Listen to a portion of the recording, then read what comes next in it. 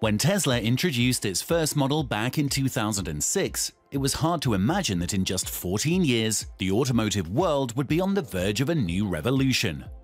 Governments of different countries introduced different support measures at the legislative level by subsidizing the sale of electric cars both directly and through various bonuses. However, this whole rainbow world is currently facing a big problem namely the limited capacity and high cost of traditional lithium-ion batteries. But it's also obvious that lithium-ion battery technologies have advanced significantly over the past five years. Modern batteries are known by advanced solutions that provide both a long-range and relatively faster and safer charge, such a breakthrough was made possible since leading chemical and technological companies, for example LG Chem, Panasonic etc., set about manufacturing batteries for electric cars.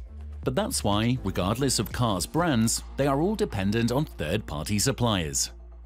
Tesla's partnership with those companies has led to an industry-leading battery cost, but over the past few months, the automaker has been rumored to be working on making its own battery cells in the Fremont factory. At the same time, the company has already spent its quota on government subsidies, so it needs breakthrough solutions that will help strengthen leadership over its competitors, such as Volkswagen and BMW, etc. And the first and probably the most logical step on this way is to create a cheaper and more capacious battery pack. The still secret project is called Roadrunner, that aims at achieving mass production of a new battery cell that comes with more energy density and a lower price. Although there is no clear statement from Tesla on starting the battery production, there is enough indirect evidence of their work. The company has bought cell production lines at its Nevada factory owned by Panasonic and acquired Hibar Systems, a well-known company providing state-of-the-art equipment for battery cells manufacturing. The revolutionary leap in terms of development of new battery design is likely to occur through the acquisition of Maxwell Technologies from San Diego, Maxwell is specialized in developing ultracapacitor energy storage technologies made with dry electrodes and is actively exploring the solid-state technology. So what are the main advantages of dry electrode batteries in comparison to the current cells? One of the key advantages is the formation of a durable and tough electrode, which can significantly increase the battery's life. It's not accidental that Elon Musk announced the new battery pack designed explicitly for a million miles of operation. This achievement will obviously provide better resale value for the vehicles.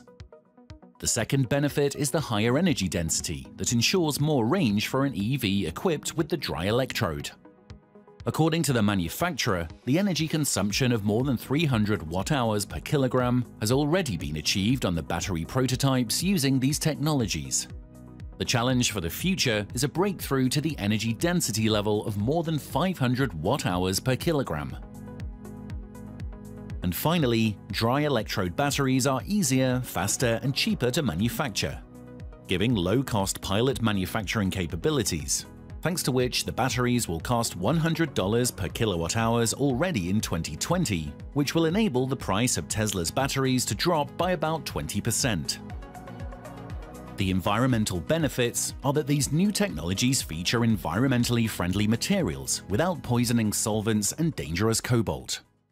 So we might shortly see Teslas on the road that will be equipped with cheaper cells with higher energy density that would enable the vehicles to achieve longer range with less batteries. This will help Tesla to jump once more over its closest European rivals by offering efficient EVs with much more affordable price, which could be comparable with most popular ICE vehicles. We could expect more information during Tesla's Battery Investor Day event when Elon Musk will probably announce the production of the battery cells. The next achievements in the processes of battery evolution will be the solid-state batteries, about which we will speak in one of our upcoming videos. So subscribe to the channel to continue discovering the marvelous EV world with us.